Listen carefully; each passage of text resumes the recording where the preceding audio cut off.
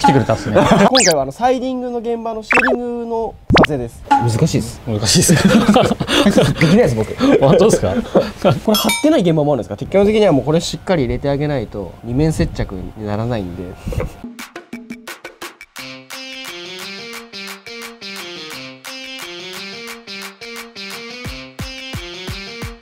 ザッス。ザスすいません来ちゃいました。いやいやいややっとやっと来てくれたっすね。待ってました。待ってました斉藤先生ですあのシールの。怖い怖い怖い怖い怖い。あの V シネになっちゃいますから。今回はあのサイディングの現場のシーリングの撮影ですで今撤去がこれ終わってる状態なんですけど一箇所だけまだ残ってるんですよ。でこれちょっと今実践でやってもらおうと思って。でちなみに撤去がやっぱシールの中で一番大変な作業ってよく聞くんですけどもそうですね。一番大変ですね。う取れるやつと取れんやつがあるんですよね。ありますね。ここちょっと見てもらいたいんですけどこの横にシールが残ってないですよねやっぱプロがやると。撤去するときに大体残っちゃうんですもんね。残っちゃうんですね。それやとまずいんですか？まずいですね。やっぱりその古いやつがはい。あるから古いやつから剥がれてきちゃうから新しいの売っても古いのから剥がれてから剥がれてきちゃうんですね。ああそういうことですか、はい。下に古いのがあってこっちがもう劣化してるのに乗っちゃって下ごと剥がれちゃう。そうそうあなるほど、はい。コツとかあるんですか？コツ慣れですね慣れ？コツ慣れですかちなみにはい。道具なんですけど、何を使うんですか？なんかいろんなものあるんですけどカッターナイフ。カッターで切って。はい。だいぶでかいですねこれでかいですよね。でペンチ。切ったやつをこれで引っ張って取るんですね、ほんで取れない時はこうコロコロで。ガリガリガリって。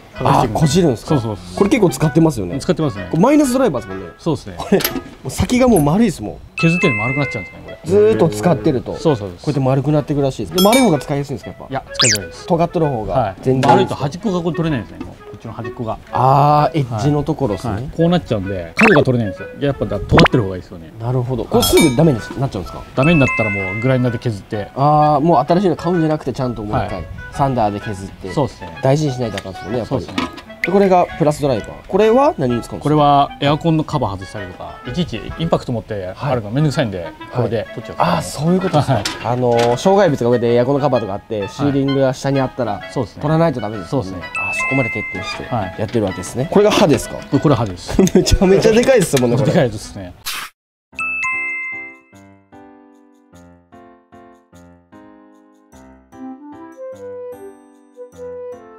これは取れやすい方ですか？これは取りやすい方ですね。やっぱ ALC とかになってくると大変ですか？大変ですね。サイディングまで壁まで切っちゃいそうですよね。そうですね。あまり調子乗ってやってると切っちゃうんですね。歯の角度がちょっと外向きになってますよね。こうまっすぐだと綺麗に取りきんないんですよね。だから歯をこうやることによって削り取ってるんですよねこうやって綺麗に。ああ、はい。なるほどその薄いのまでちゃんとはい。サイディングの下地が出るまで切って。そうですね。簡単ですか？簡単です。やってみますか一回。いいですか、はい。普通にもうこうやってそうですね。ちょっと角度つけて。はい。あ気持ちいい。怖っ。このなんかちょっとビビるとあれですしね。残っちゃいますもんね、ちょっと見てみましょうか。全然残ってますよね。先生まあ初めはこんなもんです先生優しい。先生これめちゃめちゃ残ってますよこれ。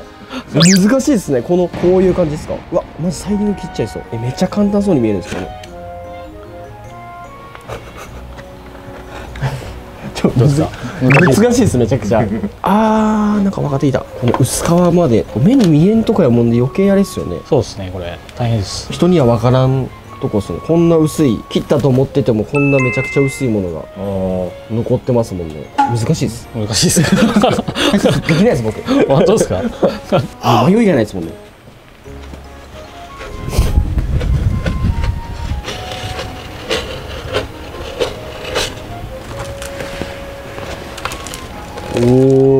こんな感じです。めっちゃ簡単にやるじゃないですか。これとかも見てもらうとシールが残ってないですもんね。もう全部壁の素材が出てますよね。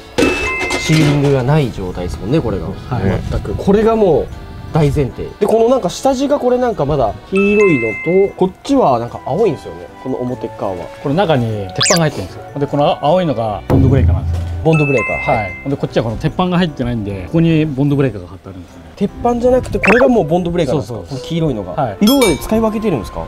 いや使い分けてるわけじゃないですよ。やっぱ使ってる業者が違うんですよ。テープによって違うんですよあそういうことですか、はい、たまたまこっちのテープがなかったんでこっちこっちやったかもしれないんですけど。はい、はい。まあいろんな多分現場のまあ新築の時ですよね。そうです。これを貼るといいんですか？これがあることによってはい。三面接着にならないんですよ。三面接着っていうのはこれですね。あの横とこっちと奥ですね、はい。このへっこんだ部分で接着しちゃうとまずいんですよね、まずいですね。くっついちゃうとどうなるんですか？ついちゃうと家っていうのが動くじゃないですか？そうするとこの奥がついてるとこの端っこからひび入ってきちゃうんでね。動きについていけない。はいで二面だとこの二面だとそうシールと一緒に動くんで割れにくくなるんですよね。あそういうことですはい。でこのテープ貼ってるだけでくっつかないんですか？あんまりつかないですね。これ貼ってない現場もあるんですか？撤去してるああります。じゃあボンドブレーカー貼ってなかったら撤去も大変ですか？大変です。くっついてるから、はい大変です。ええこれ分からんですよねみんな多分。これ言われないと。あそんな風なんですか、はい。なんかただガン打って押さえてるだけじゃないんですね。だけじゃないです。サッシ周りにも入ってるんですかこれって？差し回りは入ってないですね。差し回りは基本もうマシなんで。目地だけは入ってる。入っちゃいますこれ入ってなかったら自分らでまた貼って自分です。貼れます。ええじゃあ当たり外れあるんですよねありますね。現場来て切って開けてみたら入ってないやん。入ってないそうそう。外れ引いたわみたいな。そのなんか金額も変わってくるんですか？例えば現場来てボンドブレーカー入ってないよそのボンドブレーカーの手間代とかも出たりするんですか？出出ないです。出ないですか、はい。サービスってことですねそうですね。入ってなかったらサービスではい。やってるってことですね、はい。これも全部もう今日終わってます。終わって結構終わりましたあと紙テープ、はい。じゃあ次紙テープ編ですね。あ。ちょっと待ってください。最初何やったんですか？こう折ることによってはい。こうつけるじゃないですか。簡単にこう取れるようになるんです。これこれがないことでテープをつけると取れないんですよ。ああそうですね。ああなるほどなるほど。面倒ですもんねはい。なんかこう折り返して取れるそうですよね。みんなやってるんですか？これみんなやってるっすね。ちょっと実際に貼ってみてもらいましょうか。結構ギリギリに貼るそうですすね。これギリギリに貼んないとダメなんですよなぜかと言いますとここでこう貼るとですねこの部分が薄くてここから剥がれていってアモーレしやすくなっちゃう。割れてあそうなんですか、はい。だからこうギリギリでこうやって貼っていくんですねみんな。ただこれ行き過ぎちゃうとテープがかぶっちゃって剥がす時に立っちゃうんですよね。そうですね。難しいですね。結構ギリギリじゃないですか本当？そうですね。本当ギリギリじゃないとダメですよね。一番下は横に逃げるはい。これ逃げないとここで綺麗に仕上がらないんですよね。テープが邪魔しちゃって。絶対になっちゃうとあれですもんね。そうですね。早っ。なんかシールの職人さんって結構紙テープも軍手して貼りません？そうですね。みんなそうですね。なんでなんでですか？なんでなんですかね？なんか塗装の時だと結構あの、はい。素手なんですよ。紙テープ使うとかあのマスカとか、はい。養生をする時はもう素手なんですけど、はい。シーリング屋さんってみんな軍手してるんですよ。なんでですかね？なんかやりにくくないですか？全然やりにくくないですよね。慣れます？はい。逆に素手だとこここうやってテープ貼ったりするじゃないですか。逆に手痛いですよ。ね痛いです痛いです。はい。めちゃくちゃ痛いです。これ引っ張るじゃないですか。ここで手切ったりしないですか？しますね。するですよね。はい。ずーっとやってると。最後もそうやって。はい。で完成ですか？はい。でこの上からまた貼っていくんですよね。このへっこみはちゃんと押さえとかんと。押さえとかないとこっちに材料が来てテープ取った時にシールも一緒に出てきちゃうんですよね。そういうことですか、はい。ちょっとやってみていいですか？あいいですよ 最初オランダ怒られるですね。これぐらいギリギリでいいんですか？そうですよね。もうほんとギリギリの方がいいですよ。紙テープはちょっと自信ありますからね僕。塗装で使ってるんで。まあよれにくいっすねシーリングの紙テープ。塗装の紙テープ薄いやつになってくるとあの曲がっちゃうんですよね。あんまり伸ばしちゃうと。あ本当ですか？こんな感じですか？はい。で下こっち来てでこっち入れて。これはあれですよね水切りが多分汚れんように。そうです。でここもギリギリ。はい粘着強いですね結構。強いですねこれ。でなんで笑うんですか？斉藤さん。はい。斉藤さん笑わないでください。できましたよできましたよ。あの指が痛くなってくるんですよ目地ずっと押さえてると。痛くなるですよね。でここでまたはい。曲げて取ってもいいですか？どうでしょうか？まあ大丈夫です。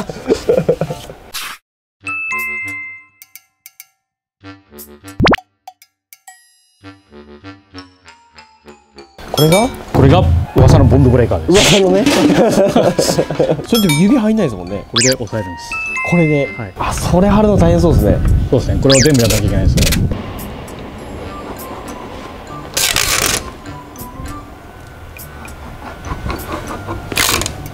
気持ちいいですね見とって。こんな感じですね。えー、これやるともう絶対後ろくっつかないつかないですね。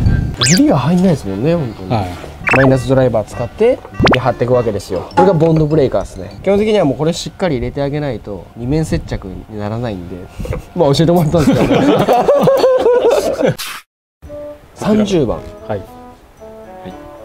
30番と40番ありますよね。ありますね。これは材料によって。材料によって接着する能力が変わるんですか？変わりますね。匂いが？ラリッチャーですラリッチャーって言葉わかりますかね？業界用語ですね。ボンドの風船あったじゃないですか、はい。今の子でもわかんわからんと思うんですけどあの匂いですよね。そうそうそあそこに出すんですか一回。あんまり好きじゃとこういった時下に垂れちゃうんですよね。で目地のここだけを塗るんですよね。横だけ。横だけですね。横だけをこう塗っていく感じです。そのままボンドブレーカーについちゃうとくっついちゃうんですか？そうですね。あ色が変わってきますね、はい。これがあるとないとでは全然違います。全然違います。すぐ剥がれちゃいます、はいちょっといいですか僕も、はい。もう少しつけてもいいですか？あ全然大丈夫ですよ。薄いよりいっぱいつけた方がいいんで。なんか意外と粘度がありますね。意外とドロッとしてる。なんかシャビシャビじゃないですね。そうですね。トロトロってしてます？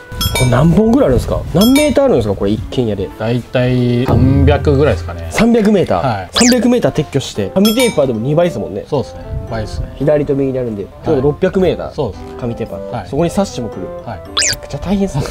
これで2日ぐらいで。2日ですね。で上げてくるんです。はい。シーリング屋さんって何年ぐらいやってたらもう一人前になるんですか？ちょっと俺覚えるのは僕3ヶ月ぐらいで覚えてます。めちゃくちゃ早いですよはい。3ヶ月でいろいろ覚えてもうそこからもうあと現場こなしていけばこなす分だけはもうどんどんできます、はいザッスわっす。ザッスもう慣れました。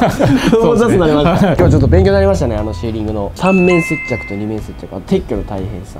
結構分かったんで、まあ、これで僕も明日から。シーリング屋さんです。殺されますかね？今回はシーリングの撤去紙テープ。プライマーまでなんで。でまた次回後日ガン打ちと仕上げですね、はい。の動画ちょっと作ってきますんで。もうちょっとシールの動画ちょっと増やしたいと思ってるんでまたよかったら見てください。じゃあチャンネル登録といいねですね。よろしくお願いします。お願いします。はい。じゃあまた見てね